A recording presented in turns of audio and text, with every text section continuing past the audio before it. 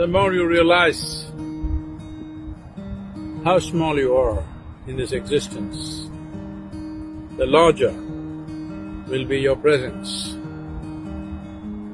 A very good thing to realize at the beginning of this year, if 2020 has to manifest as a year where your presence is felt, it's important that you realize how small you are compared to anything in the universe.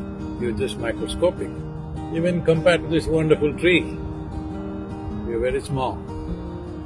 But this small life that we are, the magnanimity of nature has given us individual experience, intelligence and various capabilities.